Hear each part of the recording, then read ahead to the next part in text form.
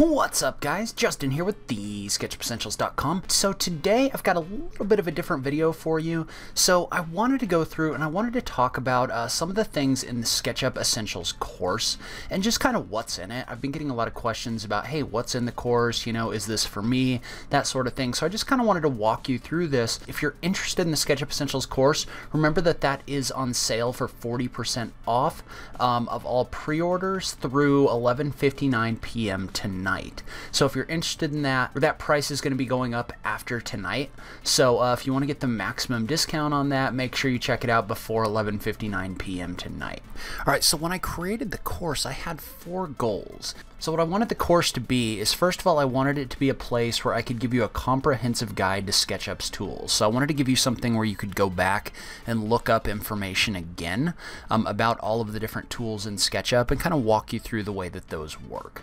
So the second thing I wanted is a place where I could teach people smart modeling workflows. So basically a place where you could learn the smart way to create models so that they're easy to change and easy to work with in the future. So I, I would call that the right way to model in SketchUp.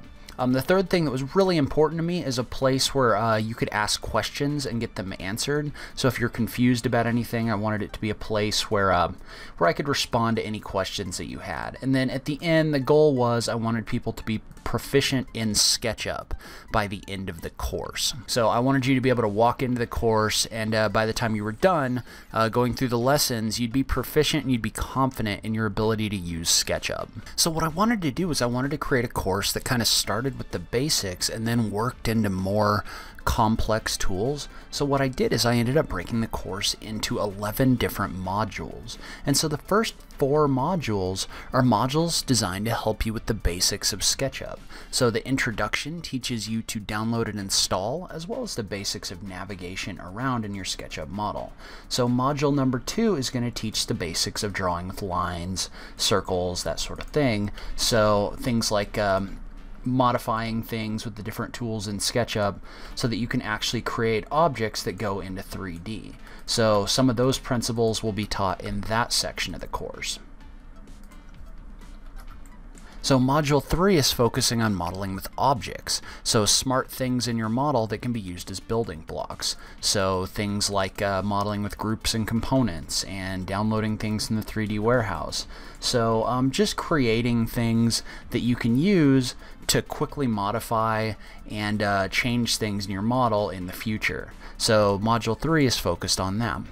Module 4 is focused on textures and colors. So, or textures, materials, and colors. So that's designed to help you with the basics of using the different material options in SketchUp.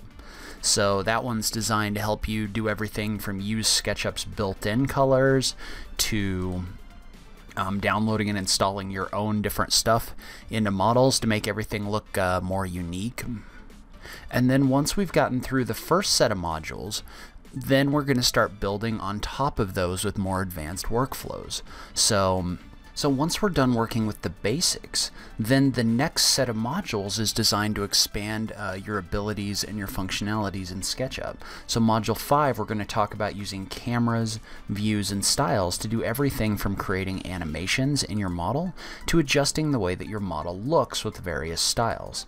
So we're going to go through all of that in that section. So not only will you be able to create models, but you'll also be able to master the way that models look in Module 6, we're going to talk about advanced modeling concepts. So things like how do you speed your models up and what are the smart ways to model things in SketchUp um, in order so that everything can run a little bit faster, as well as things like how curved faces work and uh, working with hidden geometry to create even more complex shapes.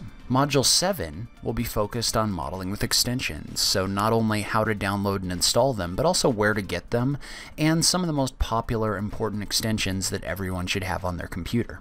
So in Module 8, we're going to discuss location and site modeling options in SketchUp. So everything from importing everything from importing geographical locations to working with SketchUp's built-in sandbox tools, which are designed to help you create earthwork, which are designed to help you create earthwork and other terrain in your SketchUp models. So you'll be able to use that to create things like that. So in Module 9, we'll, we'll focus on a start to finish model for interior design. So we'll start by creating a floor plan, and then walking step by step through adding doors, windows, cabinets, furniture, materials, and more. So, and then building on top of these building blocks, in Module 10, we're going to talk about exporting your SketchUp models to layout so that you can create two-dimensional architectural plans.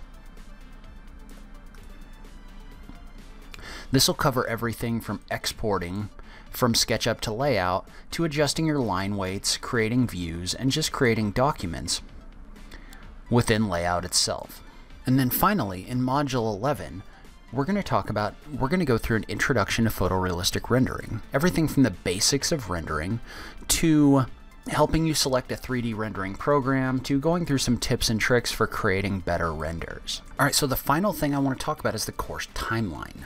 So through 11:59 p.m. tonight, there's a 40% discount on all pre-orders of the course. So that'll last until 11:59 Mountain Time tonight. Um, after that, the price of the course will be going up.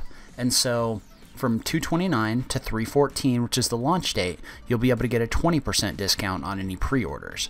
So it's not the same as if you were to pre-order by uh, later tonight, but that still will be a discount. And then uh, the course itself is going to launch on 314. So that's when the full course will have launched. And at that point, I will not be discounting the course anymore. So um, that's just something to be aware of. This is not a course that's going to go on sale in the future. The price is going to be fixed, and depending on what happens with it, the price may go up. So that's kind of the timeline and the way things are going to work moving forward. I'm really excited about this course. I think it's going to be something that can help a lot of people. Um, I'm especially excited about being able to answer questions because I think uh, having lifetime access to this information, but also being able to ask questions if you get stuck is going to be really valuable. I think it's going to help a lot of people. Um, so if you have any questions, feel free to send me a message or leave a comment in the notes down below. In any case, thank you so much for taking the time to watch this. I really appreciate it, and I will catch you in the next video. Thanks, guys.